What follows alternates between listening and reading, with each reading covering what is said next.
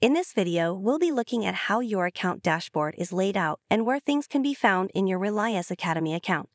From the home page of Relias Academy, you can always get back to the main page of your dashboard by selecting My Account from the My Account drop-down menu. You can directly reach other pages of your dashboard from this drop-down as well. Your main account page is where you can see your account details and also edit your password or save a credit card to your account profile. Your courses page is where your courses can be accessed, and there are a few tabs to be aware of. The main courses tab is where you can access any courses you are already enrolled into. The subscriptions tab is where any subscription you purchase can most easily be used to enroll yourself into the courses included in that subscription.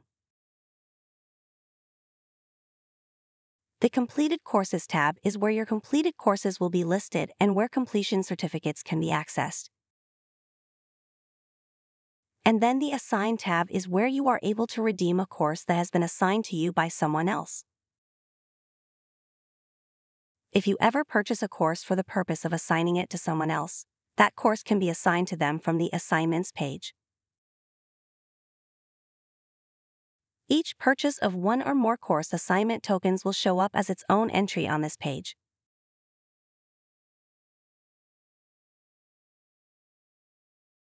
Your license or certification information can be entered or updated from the Licenses page.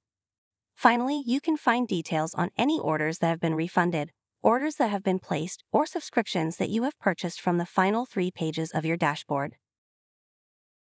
You can search for courses or packages on Relias Academy either by using the search bar to type in topics or keywords, or you can select your specialty from the Large Courses drop-down menu.